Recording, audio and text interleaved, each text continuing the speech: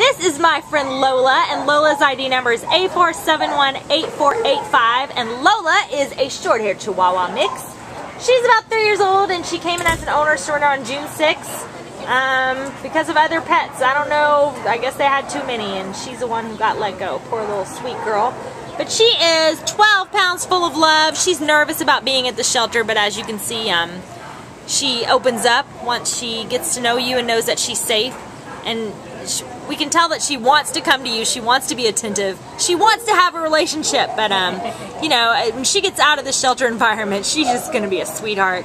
She could use a little bit more leash training, but, um, you know, she's okay on leash. She's good with other dogs, and we think she's going to have a good, fun, medium energy level. When she gets out of here and knows she's safe and loved, she's going to be fun and playful, but also we think she's still going to be a sweet little girl and give you some attention and some love. So if you're looking for a fun little friend to add to your family, she's only 12 pounds, we think she'd fit in pretty much anywhere, um, especially with children that would respect her smaller size. But, you know, children should be fine, family, individual, any situation. Lola's ready to go. She just wants to have a good home where she feels safe and secure.